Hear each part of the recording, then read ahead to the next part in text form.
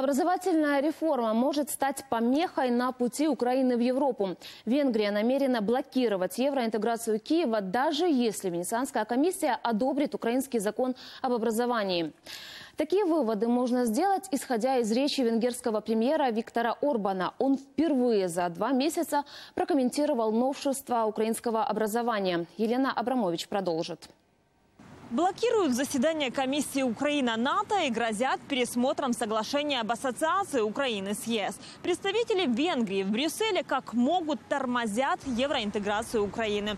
Все из-за закона об образовании, в соответствии с которым школы нацменьшинств в Украине постепенно переведут на украинский язык обучения. Будапешт считает документ дискриминационным. Киев отправил его на анализ независимому органу – Венецианской комиссии. Угорщина, очевидно, мала би взяти до уваги е, висновки Венеційської комісії.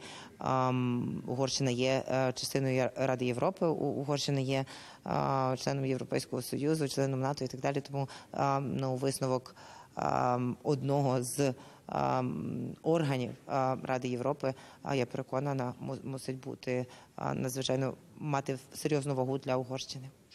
Но венгерский премьер Виктор Орбан заявил, беседа о международных стандартах защиты прав нацменьшинств – это бесполезная и философски неоднозначная дискуссия. Он будет апеллировать к другим пунктам западных законов.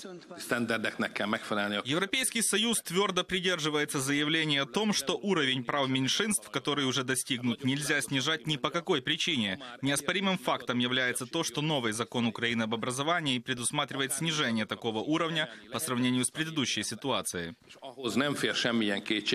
Раздражают Венгрию и другие законодательные инициативы Украины о гражданстве, о языках и о возвращении церковного имущества, перечислил Орбан. И заверил, новая волна непонимания между странами в случае принятия таких законов неизбежна. Елена Абрамович, Иван Ермаков. Подробности. Европейское бюро телеканала «Интер».